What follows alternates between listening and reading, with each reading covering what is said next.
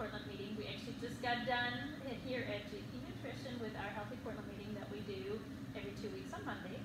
Um, we are here today because we want to talk about some food or differences between food allergies and food sensitivities because this week is Awareness Week for Food Allergies. And we are going to ask Gina a few questions because she has all the answers, guys. I don't know about all the answers, but I'll share some knowledge. uh, would you share with us differences between food allergies and food sensitivities a little bit?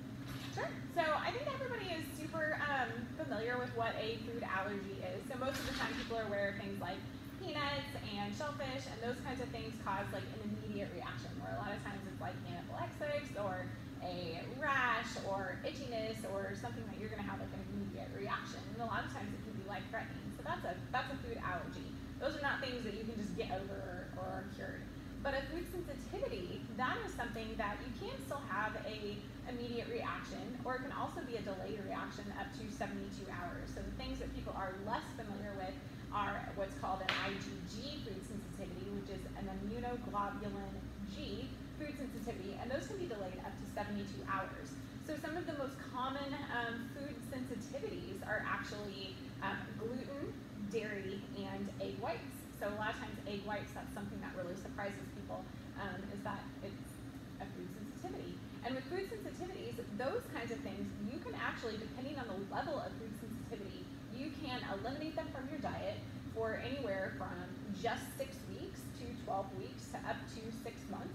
You can do some work to heal the gut, do some different things that you eliminate. Um, you're eliminating that food, you're healing the gut lining, and then you can start slowly reintroducing that food and see if those um, symptoms go away from the food sensitivity. So if I don't know what's really causing this sensitivity, how do I start finding out what it might be? Ooh, that's a good question. So what you can do, um, there's a couple of things.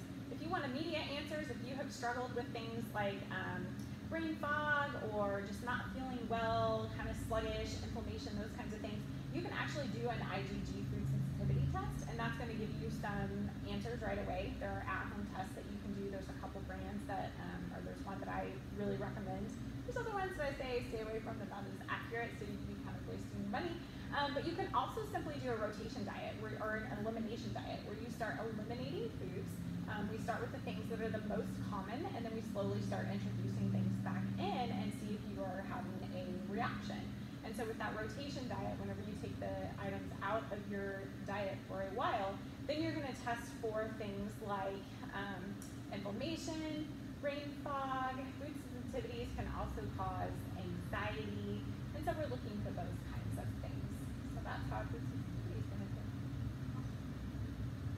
Any questions? Are there any precautions you can take when going out to like restaurants or going out to eat to know more, like how to avoid it?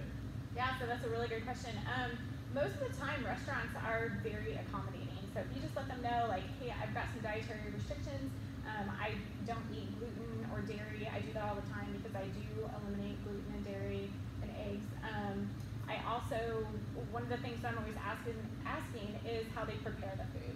So a lot of times, um, so personally, I don't have a gallbladder, so um, having something that is um, fried, or a lot of times people cook things in oil. So even when you order like just vegetables and you think you're getting just straight like vegetables, healthy vegetables, a lot of times they cook them, saute them in oil.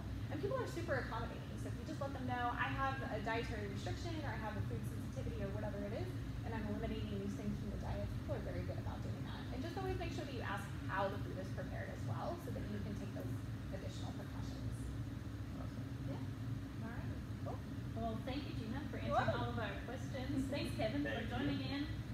If you guys have any more questions about any of the topics discussed, uh, feel free to